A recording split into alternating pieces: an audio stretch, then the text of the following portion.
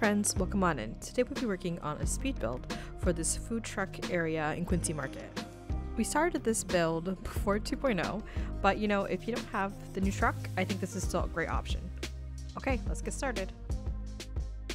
Okay, first things first, we're gonna look up food trucks, and then you're gonna go um, under there, yep, and you're gonna look for face cutout standee. There's a few options, so just pick whichever one kind of fits the look of your island, or whatever type of food truck you want to make. Okay, so here's the magic. This is why I like this build a lot, is because it literally costs you no money to make these. Um, as soon as you get the Pro Designer, you can just place these out on your island. So again, I'll say this every video, shout out to the creators to make these designs. Literal game changer. Thank y'all so much. Okay, so I was just winging it at this point, but we're gonna transition over to my next stream where I actually knew what I was doing.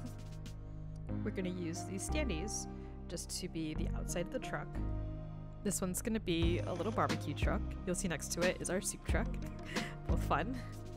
Okay, and then we're gonna be using a stall to kind of act like the roof of the food truck. Shout out to my friend, Pink Matter Games, for giving me this idea. It Turned out so cute. This point, we're just gonna kind of play around with the items, see what we like to put in the stall, and you really have to like work with adjusting the angle to really be able to like see inside. So I'm just working on our trucks here. We've got a boba food truck, and then, like I said, our soup food truck. we do a lot of fun things on stream, and that was one of the things we decided on before 2.0 we were pretty limited in the food items that we had so i mean now you could probably make like so many different types of food trucks like oh my god like a ramen food truck that would be so cute. Okay but hear me out. If you have the brewster cookie recipe you could do a brewster cookie food truck. Y'all, i might have to do an update here because i i love that idea. Yeah for real like that's that's the thing i really enjoy about animal crossing It's just like especially with the updates.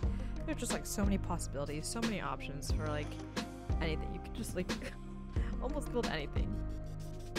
Okay, just checking out each of these trucks, making sure we have everything we want. Gonna put the front on this truck, and then we just have to customize the items. You know how I am. I like to just make sure like all the items are right. It's gotta have like that right look. Okay, and with that, we are done with this build. Okay, y'all, there you have it. Here's our food truck area.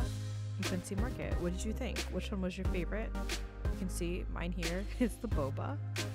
We got our boy out here, Sheldon. He's loving the soup truck. He even got his cup of soup. What up, the Sheldon? Oh my god, so cute. Okay, well, that's all I have for you today. Thank you for hanging out, and hopefully see you next time.